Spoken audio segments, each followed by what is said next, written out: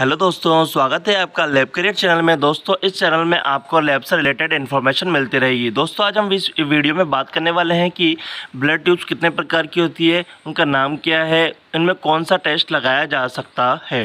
दोस्तों, हम पहले बात करते हैं के टू ट्यूब की, जिसका कलर पर्पल होता है। इससे हम C B C E S R H one C test P T H blood group malaria G six P D जैसे टेस्टों को कर सकते हैं। दोस्तों, इस ट्यूब से हम ओनली होल ब्लड के टेस्ट ही लगा सकते हैं। दोस्तों नेक्स्ट हम बात करें हैं प्लेन वाइल की। दोस्तों, इसमें किसी भी प्रकार का एंटीकोगुलेंट नहीं होता है।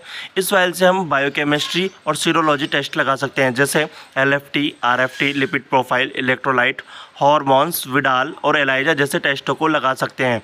दोस्तों नेक्स्ट अगर हम बात करें हैं सोडियम फ्लोराइड वाइल जिसको हम शुगर वाइल भी कहते हैं। दोस्तों, इसका यूज़ हम ग्लूकोज और लैक्टेट टेस्टों को लगाने के लिए करते हैं, जिसमें हम blood sugar random blood sugar fasting और ब्लड शुगर पीपी जैसे टेस्टों को करते हैं।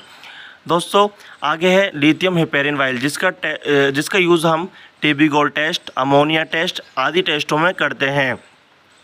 दोस्तों नेक्स्ट हम बात कर रहे हैं पीटी वाइल की, जिसको हम सोडियम सिट्रेट वाइल भी कहते हैं। दोस्तों, इसमें हम पीटीएनआर का टेस्ट डी डाइमर एपीटीटी और जो हमारे क्लोटिंग फैक्टर्स होते हैं क्लोटिंग फैक्टर शायद ट्वेल्व होते हैं, उन टेस्टों को लगाया जाता है। फ्रेंड्स अगर वीडियो अच्छी लगी तो वीडियो को लाइक और चैनल को सब्सक्राइब ज़रूर कर लेना। ऐसी वीडियो आपको मिलती रहेंगी जल्दी, सबसे सरल और सबसे आसान भाषा में। थैंक यू दोस्तों।